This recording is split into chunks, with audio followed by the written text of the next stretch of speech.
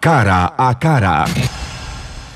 Cada candidato tendrá cinco minutos para debatir con su contrincante. El aspirante que va primero va a tener el derecho de decir, de escoger con quién quiere debatir. Tendrá dos minutos para formular la pregunta. El contrincante al que le formulan la pregunta tiene dos minutos para responder y luego el aspirante que hizo la pregunta inicial tendrá un minuto más para su réplica. Así, eh, entonces están los tiempos. Recuerden que para cada uno de estos tiempos, cuando falten 10 segundos, eh, sonará esta señal. Eso significa que está a punto de acabar el tiempo para que cerremos la idea porque de inmediato se acaba el tiempo, se apagan los micrófonos de manera automática. Entonces, estamos listos. En esta ocasión comenzamos con don Gilio Francesca. Así, ¿verdad? Francesa Ferraro del Partido Movimiento Libertario. Don Gilio, ¿con quién desea debatir? Bueno, para mí con cualquiera. Se acerca un poquitito nada más al micrófono, don ah, Perdón. Eh, yo estoy muy poco entrenado a estas cosas. Sí, puede ser con el, vecino mío, que es vecino en la finca en Santa Elena. Ah, ok, con don Manuel. Con don Manuel. Ok, eh, tiene dos minutos para formular la pregunta, don Gilio.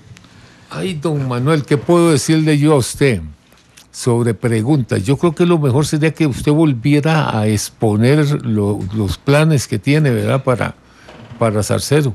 Para, sí, para Zarcero ahora, antes era Alfaro Ruiz, ¿verdad? Sí, gracias, Gilio. Este, bueno, vamos a, vamos a, vamos a, trabajar. Regáleme un minuto nada más para que, ahora sí, el tiempo está en dos minutos, ahora sí. Gracias, Gilio.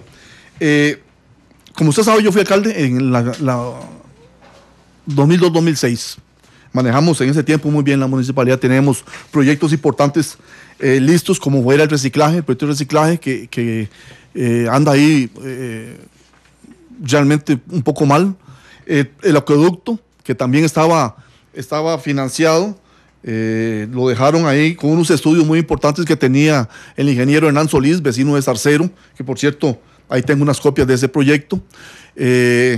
Estábamos, estábamos en un proyecto turístico a nivel de Occidente, eh, muy importante, Gilio, previniendo, previniendo eh, el asunto de la carretera San Carlos-San Ramón, eh, para no quedarnos ahí encerrados, ve la posibilidad de que todo el turista este, este, pasara por Zarcero nuevamente, o sea, que no se nos alejaran ahí, que no dejaran esa zona linda de Zarcero, y entonces estábamos a nivel de Occidente creando un proyecto turístico, ya, que, ya que esa carretera en su momento va a afectar toda la zona.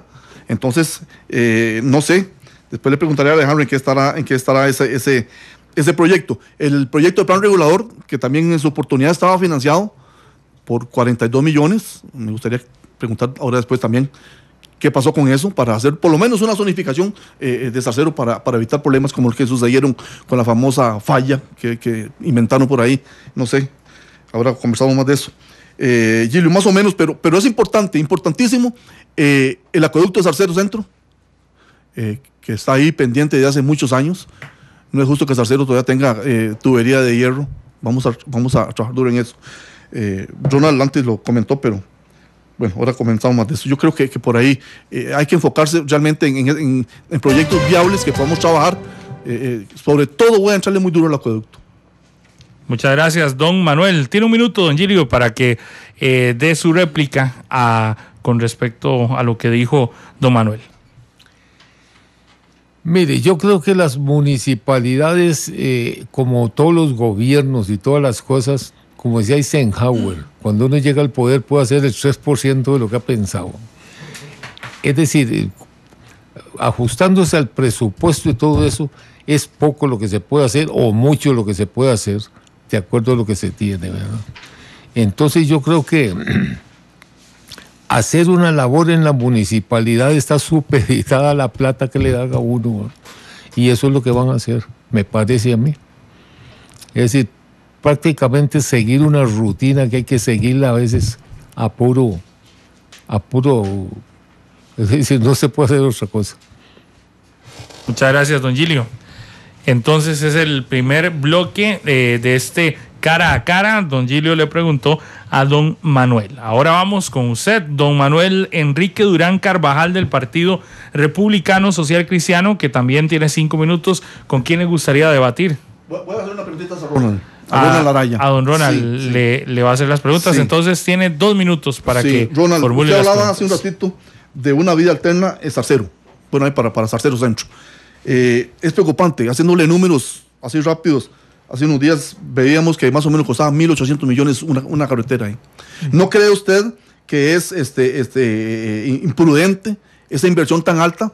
Eh, pensando en, en, dos alternativas que tenemos ya prácticamente listas, que es la carretera San Luis y la nueva vía San Ramón, que, logra, que, que con suerte podamos tener una vía alterna eh, más adelante. Eh, eh, yo creo que es un, proyecto este, difícil, Ronald. Me parece a mí que hay que, que hay que ser un poquito más serio y, pensar en cosas viables. Yo creo que la municipal no puede, no puede ni tendrá nunca un, presupuesto de esos para hacer eso.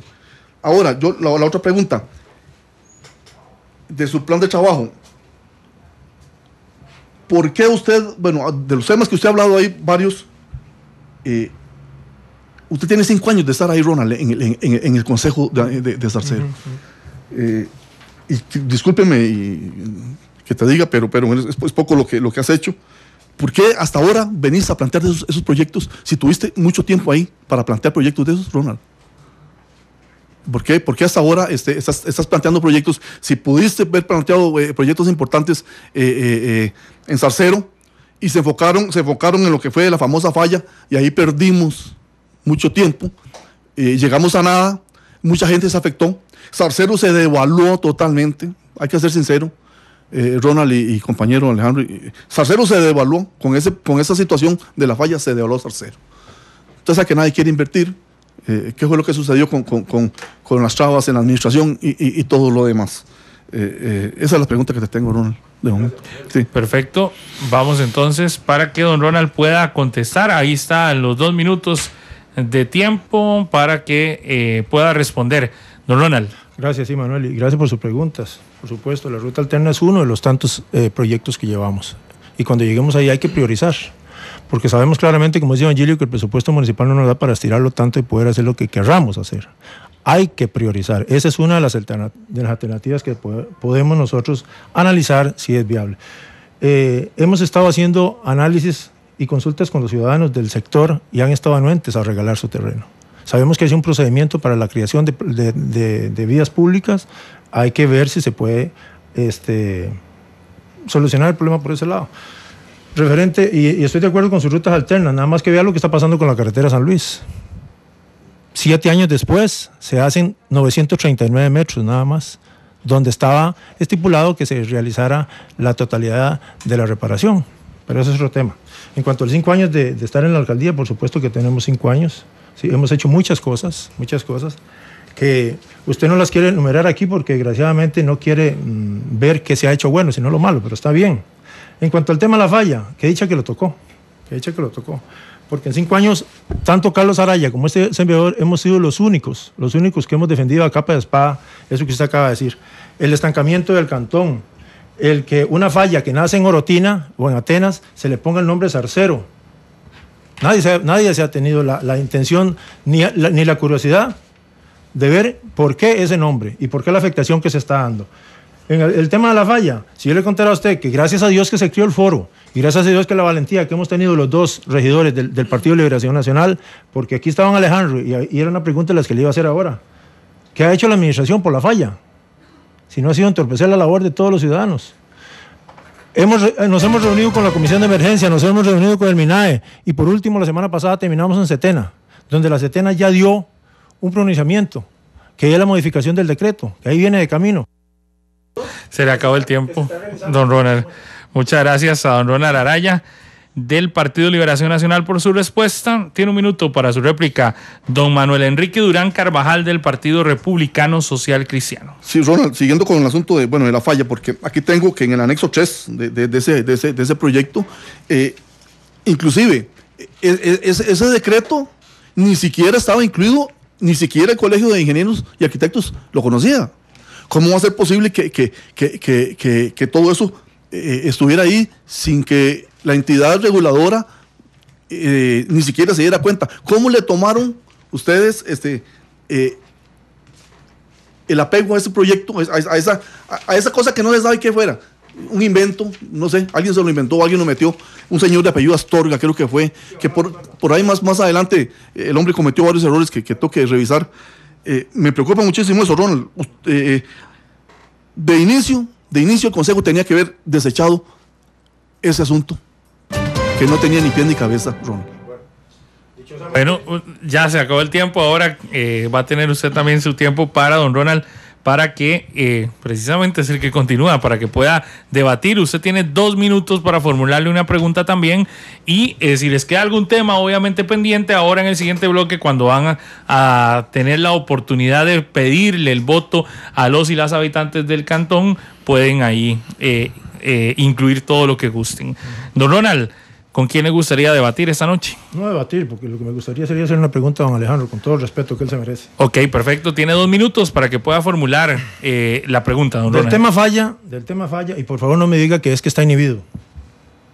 La, pregunta se la voy a hacer para que me la conteste, bien amplia, ojalá. ¿Por qué no se ha dado el levantamiento de las restricciones que afectan a tantas familias existiendo un, pronunciamiento del contencioso administrativo y un acuerdo del Consejo Municipal donde indica que las restricciones se eliminan?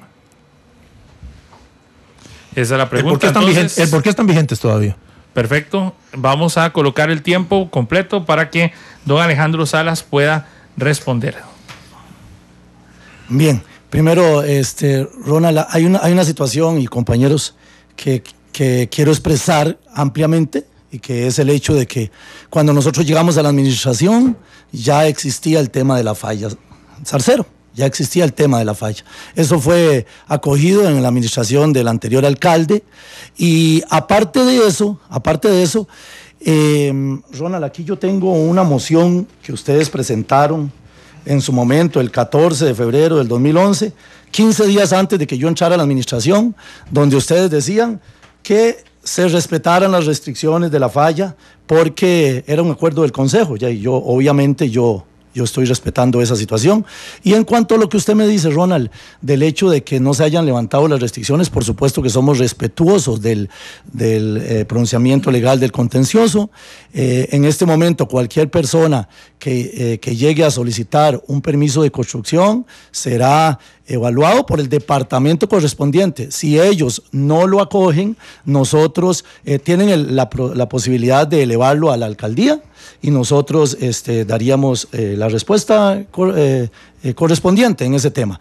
Creemos que, que, aquí hay que tener una, una conciencia muy poco importante de que, de que primero estaba un estudio, ese estudio fue este, validado directamente por el Consejo Municipal y en su momento este, la, la parte técnica del departamento, ellos podrán rechazar por alguna razón, pero si eso es elevado a la alcaldía y cumple con todos los requisitos, eh, se dará el permiso correspondiente.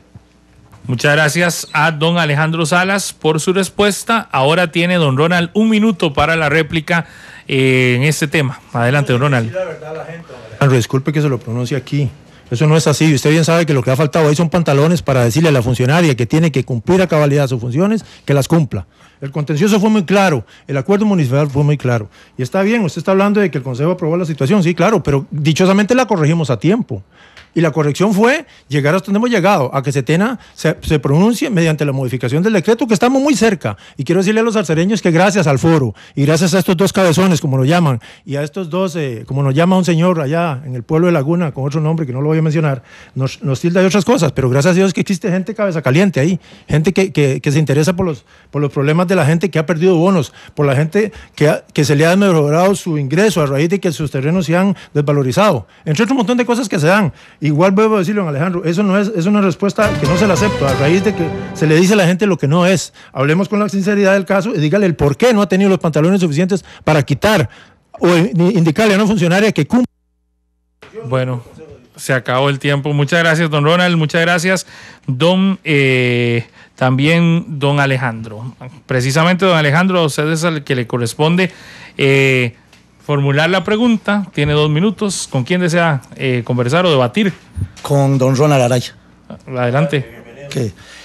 Em, en la línea de aportes o ideas a esta campaña, don Ronald, quiero preguntarle cuál ha sido su trayectoria política y cuáles proyectos han sido iniciativas suyas en estos años como regidor en donde no hayan mediado comisiones municipales y que hayan sido significativos para el cantón.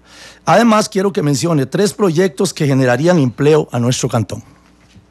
Perfecto, vamos entonces para colocar los dos minutos para que don Ronald pueda responder. Ahora sí, los dos minutos listos para en cuanto, los aportes, en cuanto a los aportes, eh, eh, ahorita son varios. Ahí están las actas, que eso consta en actas, dichosamente. Eh, las actas son públicas y cualquier persona puede visitarlas para que se dé cuenta si hemos aportado o no.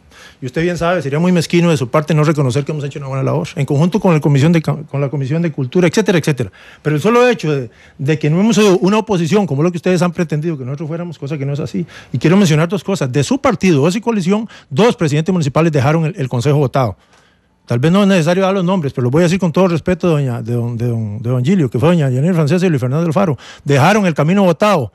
Eso, es, eso deja mucho que desear de la coalición que usted tiene que usted lleva. Y los proyectos que queremos crear, fuentes de trabajo, por supuesto. El programa VO, que tanto lo ha cacareado usted, que es un programa de doña Laura Chinchilla. Y en buena hora que lo están aplicando. El emprendedurismo, claro que sí, vamos a eso. El turismo rural, que usted habló una vez en, otro, este, programa de televisión donde había una situación del, del, turismo de Occidente. Y yo quisiera saber quién es el representante de la municipalidad en eso. Quisiera saber por qué usted cacarea tanto la red de cuidados. Si la red de cuidados usted fue uno de los que más bien se opuso a que, la municipalidad la, la, acaparara porque no tenía las condiciones para hacerle frente. Y dichosamente don Rodrigo Rojas y el comité de, del hogar lo dieron. Y, y, van trabajando requete bien, gracias a Dios. El encamiento productivo con otras municipalidades vecinales. Hay que hacer muchísimo, Alejandro. Y sería como muy egoísta de su parte este, ahorita venir usted a decir que no hemos hecho nada. Eso es un irrespeto, perdón que se lo diga, para el Consejo Municipal. Perfecto, muchas gracias, don Ronald. Don Alejandro tiene un minuto para su réplica. Bueno, primero que todo aclararle a don Ronald que yo no he dicho que no, no hayan hecho nada. Yo le estaba preguntando cuáles son los proyectos. Pero está otro, otro asunto, tal vez le faltó decir que si usted dice que, que efectivamente es un proyecto, doña Laura, y bienvenido, pero nosotros tuvimos la valentía de tomarlo, de tomarlo. Y, y, quiero, y quiero, y quiero que usted eh, eh, entienda tal vez una situación. Nuestro cantón lidera ese proyecto por encima de los otros seis cantones a nivel nacional. Otra situación importante es eh, el turismo que usted me habla, es el plan de turismo rural de Occidente sostenible. Y el representante soy yo, y en actas está que yo estaba asistiendo a todas las reuniones y voy a seguir asistiendo. Como, como, como, como usted mismo lo está indicando, este, tiene que haber un representante municipal, el cual soy yo. Y por otro asunto, eh, ya que usted menciona lo del asunto de la red de cuido, en ningún momento yo estuve en contra. Al contrario, fui el que con el doctor Blanco y María Teresa Chacón trajimos ese proyecto al cantón. Bueno, perfecto. Muchísimas gracias a todos por participar en esta parte del debate, en este segmento donde se exponen las ideas y donde cada aspirante puede consultar eh, los temas que quieren saber a sus oponentes. 7:44, hacemos una breve pausa y ya volvemos acá en Debate Monumental. Una decisión fundamental para que usted emita su voto informado. Usted que es habitante del cantón de Zarcero. Una pausa